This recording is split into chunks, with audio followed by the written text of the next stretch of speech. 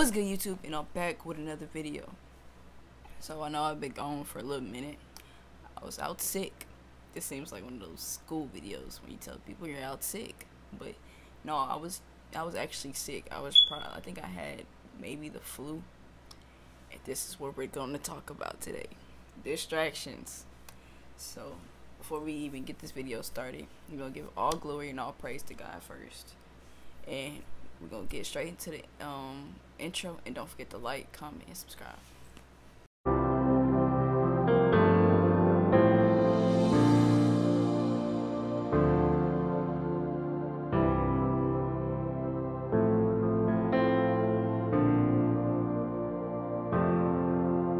all right so i'm still kind of a teensy bit getting over the sickness so y'all gonna hear me coughing in and out of this video but okay. So yeah, I want to talk about distractions.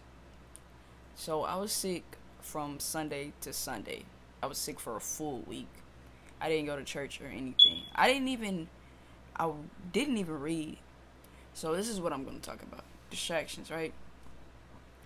At first, I didn't notice the distraction. Like I didn't notice that I was using my sickness as a distraction to not read the Bibles right? I said the Bibles, but yeah, the Bible. At first, I didn't realize it was a distraction, but I, I came to realize that it was a distraction and I was using my sickness as a reason to be lazy and not to read and not to talk to God. I was using that as a, a distraction. Then I myself to actually get distracted that full week that was sick.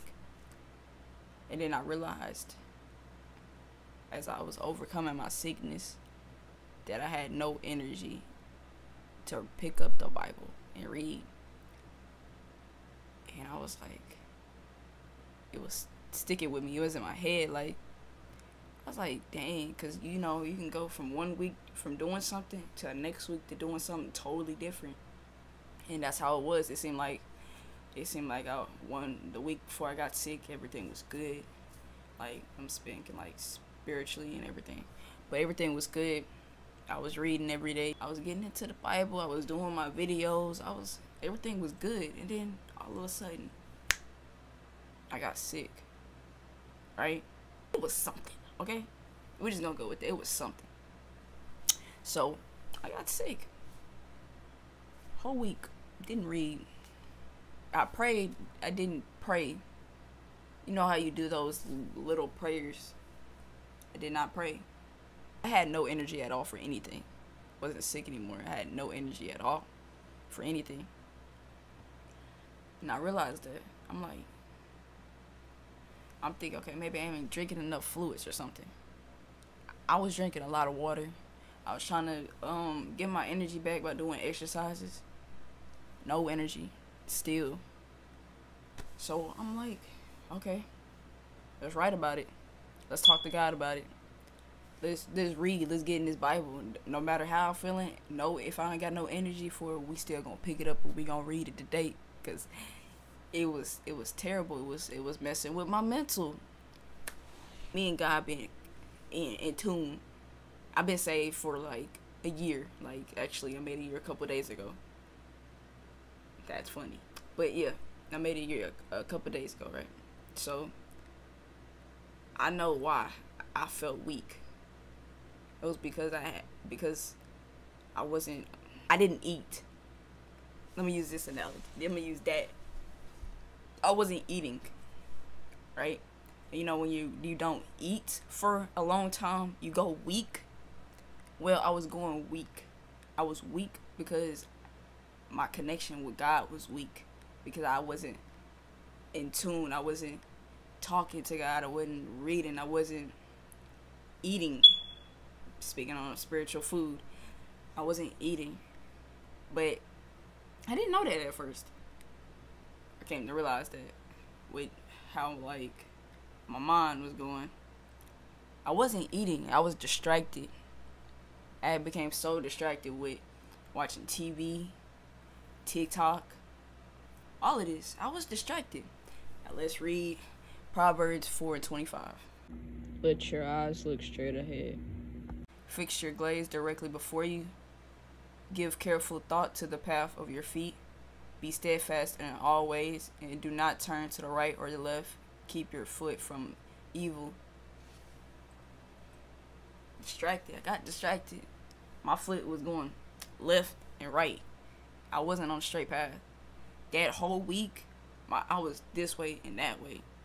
I was allowing I was allowing what was happening to me to happen to me.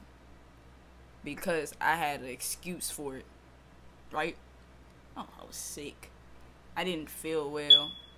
That gave me a, a excuse to be lazy and a that gave me an excuse, not a, like a valid excuse, but a little a doozy excuse for what happened. There's no excuse for why I wasn't reading, but that was an excuse, if you know what I'm saying. So I'm saying all of this to say don't don't allow yourself to get distracted.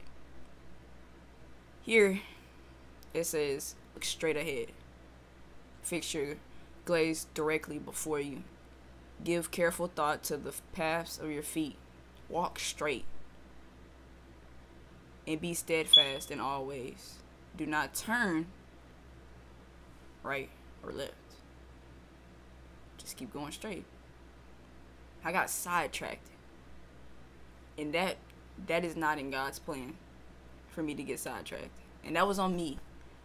And I'm saying take sometimes we don't take accountability for the distractions that we allow in our life. Like the social media, we we allow that to distract us. And I'm I'm saying all of this because I'm still going through it. And sometimes we don't even notice that it's a distraction, but oftentimes we do notice it. It's a distraction.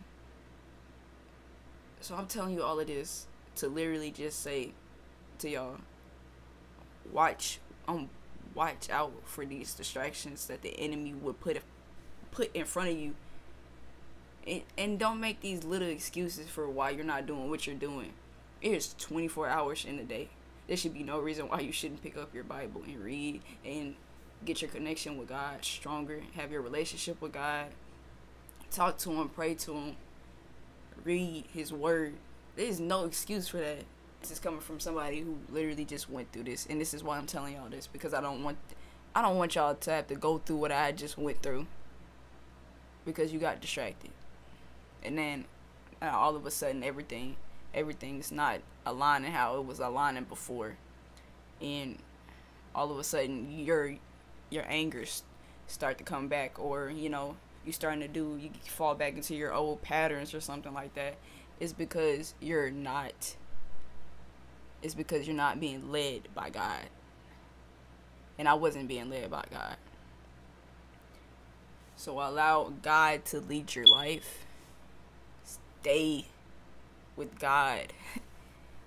Don't allow these distractions to get to you is what I'm saying. So that's all that's all I got for y'all today. I don't know if I just helped somebody, but it definitely it it definitely was an eye opener for me. But yeah, till next time y'all. Y'all stay blessed. Y'all stay safe out here. Peace.